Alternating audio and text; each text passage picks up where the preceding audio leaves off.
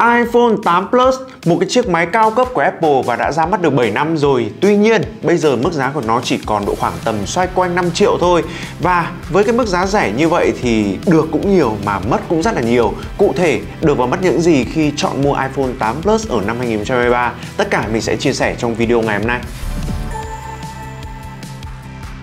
Đầu tiên thì mình sẽ chia sẻ cho các bạn những cái điểm mà mình vẫn còn sử dụng cực kỳ ngon ở trên iPhone 8 Plus và nếu như mà các bạn quan tâm đến khả năng chơi game của chiếc máy này thì nó vẫn chiến được liên quân max setting. Còn với những cái tựa game nặng hơn như là PUBG hay là Genshin Impact thì thôi hãy tha cho iPhone 8 Plus ở năm 2023 đi. Còn lại những cái tác vụ sử dụng cơ bản như là Facebook, Instagram, mạng xã hội hay là YouTube thì chúng ta vẫn có một cái chiếc máy nó hoạt động rất là trơn tru, mượt mà và ổn định.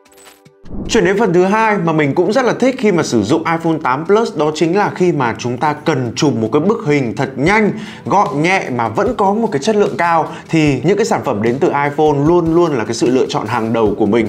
Nó được trang bị camera kép ở phía sau với độ phân giải là 12 megapixel cho chúng ta chế độ chụp xóa phông nhưng lại không có góc rộng giống như là những cái chiếc máy được ra mắt ở thời gian gần đây.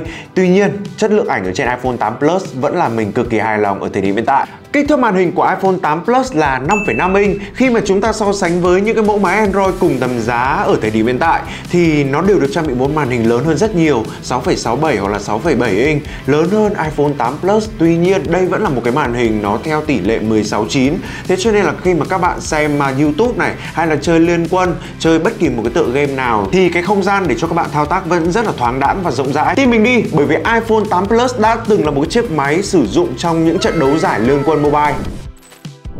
Một cái điểm nữa mà mình muốn chia sẻ với anh em đó chính là việc anh em mua 8 Plus ở thời điểm hiện tại chúng ta sẽ không có hàng mới và bắt buộc anh em phải mua hàng đã qua sử dụng. Và nếu như anh em may mắn như tôi có một chiếc iPhone 8 Plus màu đỏ và cái hình thức của nó thì còn đạt được cái độ là 99,9% bởi vì đây là hàng nữ dùng luôn luôn đeo ốp. Thế cho nên là cái hình thức của nó gần như là được đảm bảo tuyệt đối. Cho nên là anh em nên cân nhắc về cái việc mua hàng cũ ở thời điểm hiện tại. Đồng ý là anh em mua được một cái chiếc máy nó có hình thức đẹp nhá. Nhưng liệu cái vỏ đấy nó đã bị thay hay chưa? Hay pin nó đã bị thay hay chưa? Hay cái màn hình là cái quan trọng nhất của chiếc iPhone? Nó đã đã bị thay thế hay chưa? Thì đây là một cái điều mà anh em cực kỳ lưu tâm giúp mình phải chọn được một cái điểm bán uy tín và đủ tin tưởng thì anh em hãy mua nhá.